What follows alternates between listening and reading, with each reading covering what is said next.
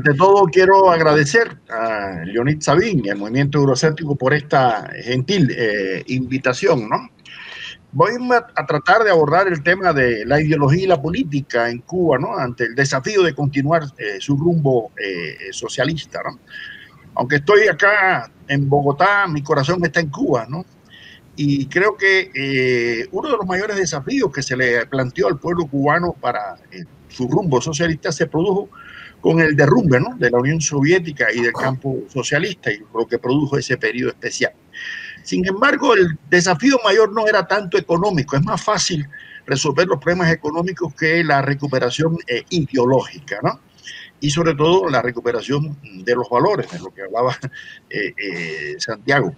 Si tomamos en consideración que los factores ideológicos son más sutiles, pero el hecho de que no sean más sutiles no quiere decir que no sean más efectivos también se, se cuelan como el agua, ¿no? Entre los dedos, ¿no? Eh, yo he considerado que las ideologías siempre son como conjuntos, ¿no? De concepciones, creencias, valoraciones, que comúnmente son aceptadas por algún sujeto político o social, clase, grupo, partido, estado, país, iglesia, etc. Y con un intento o bien de mantener un establishment, un orden, o también reformarlo o subvertirlo. Por lo tanto, bueno, pues lógicamente el proyecto de rumbo socialista de Cuba eh, se cuestionó mucho, sobre todo por los enemigos de la revolución cubana, cuando dijeron, bueno, ¿cómo es que si Cuba es un satélite, como decía Santiago, de la Unión Soviética, se cayó el astro mayor, ¿no? Y no se cayó el satélite. Bueno, pues parece que ahí eh, cometieron un grave eh, error, ¿no? De reduccionismo epistemológico de trasladar ¿no? de esferas de la, de la astronáutica al mundo socioeconómico y político, porque Cuba no fue nunca, ¿no? Un satélite, ni lo sigue de ningún, ¿no? Eh, tal vez lo fue de Estados Unidos en la época de la República, ¿no?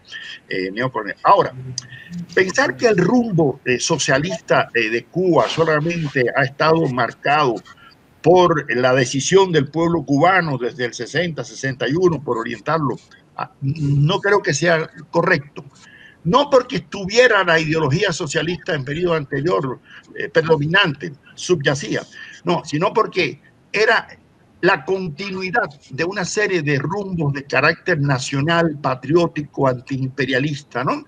Y yo creo que esos factores, de una forma u otra, hay que eh, estudiarlos y analizarlos bien, ¿no?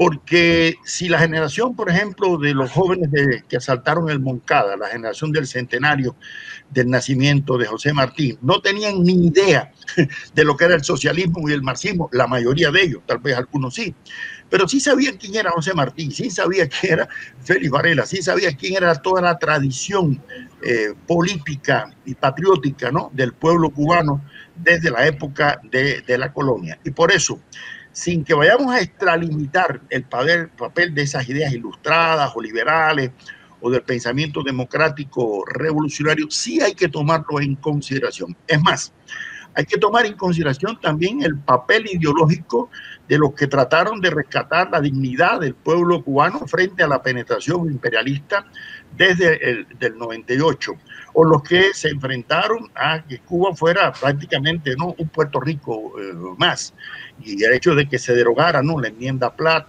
eh, que se luchara por reivindicaciones obreras, en las cuales incluso anarquistas jugaron un papel también, y no solo socialistas y comunistas. De manera que yo creo que indudablemente el papel de José Martí es protagónico en, cuanto a la conformación de un ideario patriótico, nacional, antiimperialista. Pero, como decía Enrique José Barona, José Martí era el pico turquino, pero los picos no nacen de sabanas, nacen apuntalados por otros picos tan altos como él, Antonio Maceo, Máximo Gómez, Calixto García. Entonces, si uno no ve la preparación de generaciones tanto en el siglo XIX como en las generaciones que en los años 20 con Mella, Baliño, Villena, Guiteras, ¿no? Y un papel que a veces se, se subestima. Yo conversaba varias veces con Armando Hart y él me destacaba el papel de la educación pública cubana antes de la revolución que preparó de forma de alguna forma esa ideología, esa, y no todos, por supuesto, se propugnaba de corte socialista. Hubo personas eh, como Fernando Ortiz, Raúl Roa, Rafael García Bárcena, que incluso organizó hasta un ataque al cuartel militar de Colombia, La Habana, antes que Fidel pensara en el Moncada, y que influyó sobre Har, sobre Faustino Pérez, sobre todo. Yo creo que toda esa generación de jóvenes, en que estaba Raúl Castro, Camilo Cienfuegos, Juan Almeida, Abel Santa María, Fran Pay, toda esa generación estaban imbuidos por todo ese pensamiento, esa ideología que venía de las épocas anteriores. Ahora bien, cuando Fidel logra el mérito indiscutible de unir esa ideología martiana con la ideología socialista, tal vez es uno de los grandes méritos ¿no? de, de Fidel. Fue cuando el socialismo y el antiimperialismo dejaron de ser una ideología para convertirse en una praxis política ¿no? del, pueblo, eh, del pueblo cubano.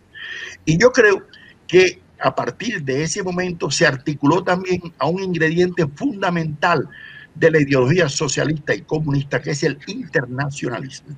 Desde un primer momento, la revolución cubana vio que era necesario ¿no?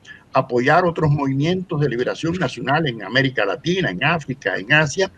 Bueno, tal vez imbuido un poco ¿no? por el criterio de la revolución permanente que Marx había planteado y Trotsky después, el Che insistía en que había que crear dos, tres, muchos Vietnam, porque se consideraba que era necesario ¿no? que hubiera movimientos revolucionarios en otras partes del mundo. Ahora, los vaivenes que se han producido en cuanto al rumbo socialista de la revolución cubana, porque tampoco vamos a pensar que siempre ha habido una total, eh, única concepción respecto a lo que debe ser el socialismo y el comunismo. No, han habido etapas en estas más de seis décadas del proyecto revolucionario eh, eh, cubano. Si hubo una etapa en los años 60 en que se pensó que había que hacer una construcción paralela ¿no? de socialismo y comunismo a la vez, y eso llevó a que bueno, se implantara un sistema presupuestario estatal de empresas, a la ofensiva revolucionaria que estatalizó todas las pequeñas empresas y que fue un error, según me comentó a mí Carlos Rafael Rodríguez cuando una vez coincidí con él en México y él se opuso en el seno del foro político a esa ofensiva revolucionaria, pero bueno, todas las revoluciones cometen eh, errores, ¿no? O el hecho de promover exclusivamente los estímulos morales, ¿no? Eh, y no adecuadamente los materiales, pero sobre todo el criterio un poco del desarrollismo industrialista, ¿no? De tratar de ponerse a un nivel de, la Unión Soviética eh, o de eh, tratar de un desarrollismo que no, se, no era mm, adecuado al nivel de desarrollo socioeconómico e industrial de la Cuba de los años 60. Pero si nosotros vemos que después, cuando Cuba se articula al CAME, ¿no? a la comunidad de, países socialistas, esa división internacional del trabajo nos favoreció en algunos aspectos, pero también en otros aspectos nos daba un papel de solamente productor ¿no? de algunas materias primas, de algunos productos primarios, y eso de una forma u otra eh, estaba en consonancia como el rumbo socialista de Cuba estaba articulado al de la Unión Soviética y al de y no es porque fuera satélite, es porque se concebía el socialismo de una forma así, ¿no?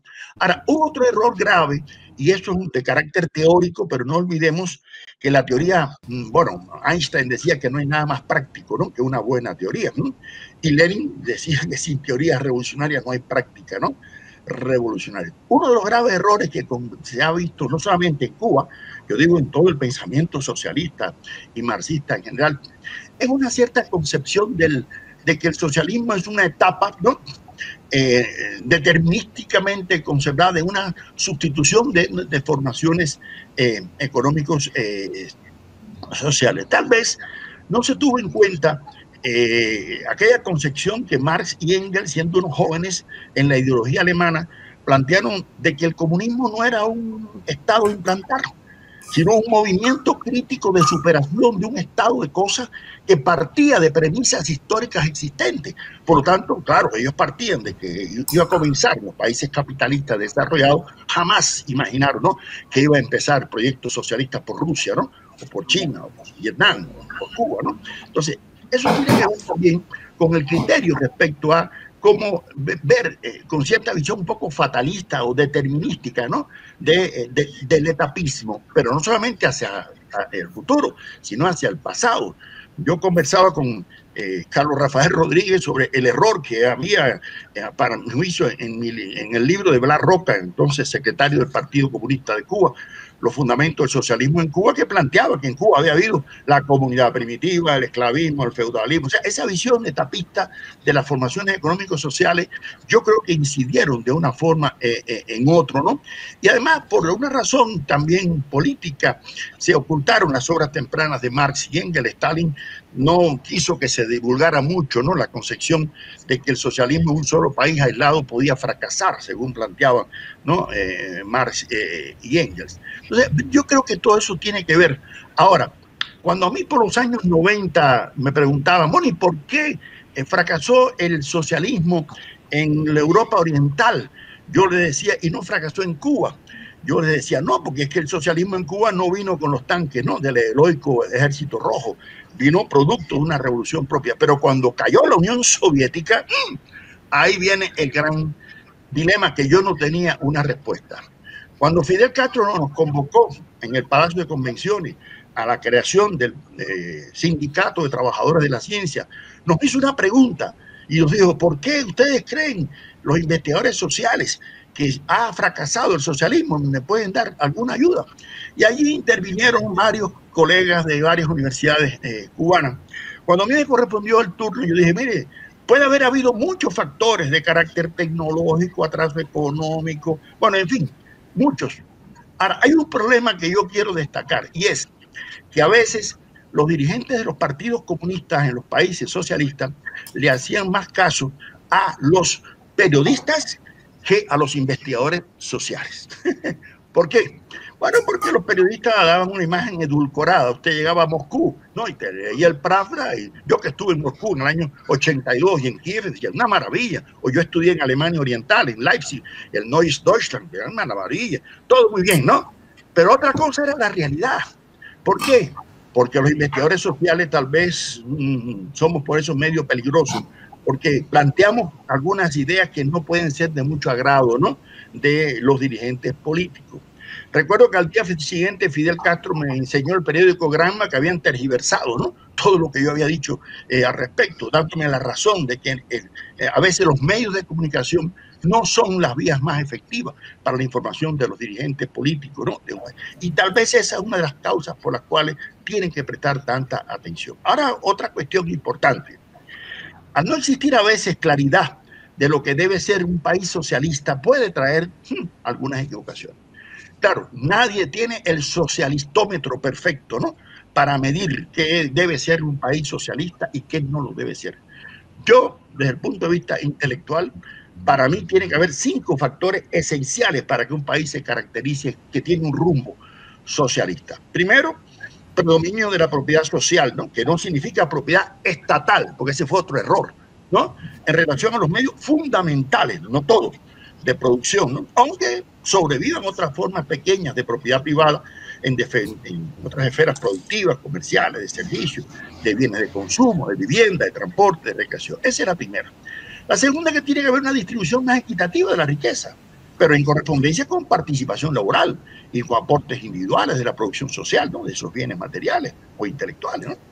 En tercer lugar, tiene que haber democracia participativa, pero que supere la democracia burguesa tradicional representativa. Recuerde que Rosa Luxemburgo decía que no puede haber socialismo sin democracia, ni tampoco democracia sin socialismo. Esa articulación es esencial. En cuarto lugar, yo creo que tiene que haber un aseguramiento de los derechos fundamentales a la salud. ¿no? Hoy en día la pandemia ha demostrado que hasta los neoliberales vergonzantes se dan cuenta del grave error ¿no? de creer que los enfermos son clientes ¿no? en lugar de pacientes como los concebimos en Cuba y lo han demostrado las brigadas de nuestros médicos ¿no? en Henry Lee, en muchos lugares del mundo. La salud, la seguridad social, la cultura y el deporte, con independencia del estatus económico, son derechos básicos, no vitales, fundamentales. Y en quinto lugar, pero no por menos importante, lo que Santiago también llamaba los valores humanos. Y sobre todo porque, como decía Gramsci, el socialismo ante todo es una gran eh, creación cultural. Y el Che decía, si el socialismo es solamente para llenar el estómago de más frijoles a los obreros, no cuenten conmigo. Porque si no hay la creación de un hombre nuevo, valores nuevos, otra dimensión axiológica, no hay realmente una proyección socialista.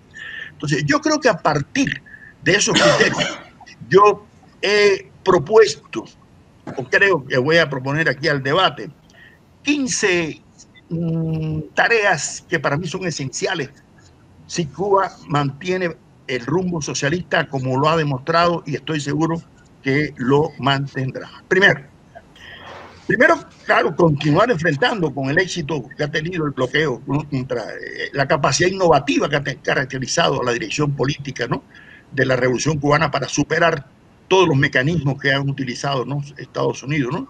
Pero también hay que superar los bloqueos internos, los autobloqueos que tenemos a veces en errores de políticas económicas, políticas sociales en nuestro país. Es decir, no solamente ¿no? echarle toda la culpa al bloqueo mm, injusto, cruel, inhumano e, e, ilegal, ¿no? que ha sido tan criticado por la comunidad internacional. Esa es la primera cuestión.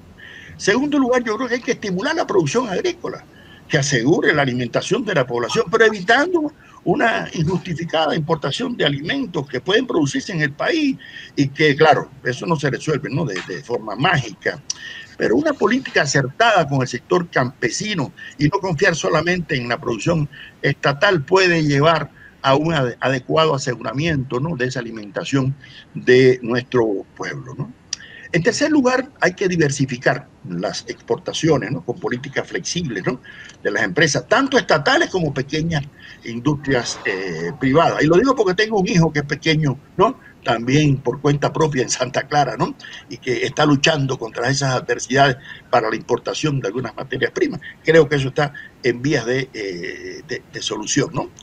En cuarto lugar, hay que mejorar los mecanismos de estimulación a los trabajadores, en correspondencia con el principio socialista de reconocimiento de los aportes y a la producción de los servicios. Creo que se han dado algunos pasos en este momento con la unificación monetaria, pero creo también que hay que rectificar algunos errores con esa unificación monetaria en algunos precios que me parecen totalmente desorbitantes. En quinto lugar, hay que perfeccionar los mecanismos de participación democrática. Yo no creo que nuestro sistema sea perfecto, pero por supuesto que no confío en el multipartidismo clientelista que existe en los países eh, capitalistas, que es una falacia ¿no?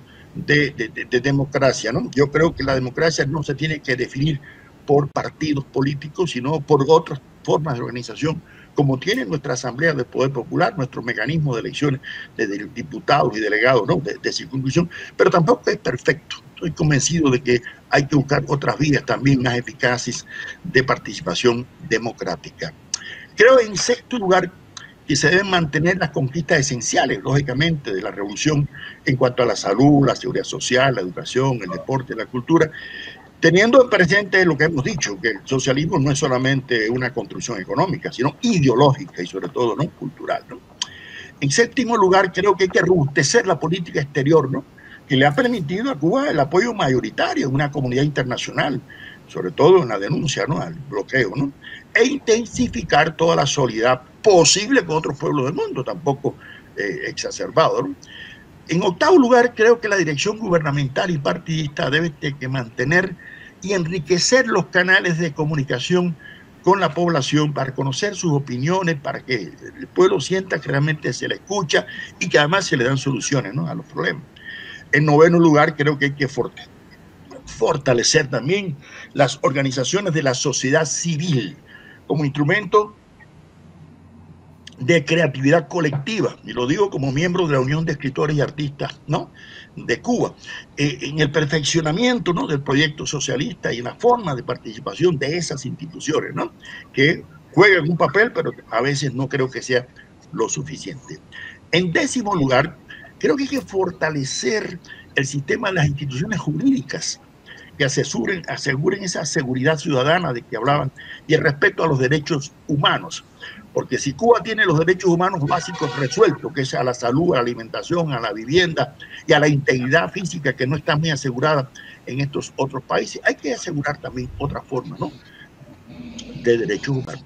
En décimo primer lugar, creo que hay que mantener y perfeccionar los ejercicios necesarios de la defensa del país en la preparación de la población activa ante posibles nuevas agresiones militares y acciones terroristas que como ante fenómenos meteorológicos, ¿no? porque sabemos que el imperialismo siempre es agresivo y vive de la guerra. Eso es natural que produzca el complejo militar industrial, necesita fabricar guerra donde quiera.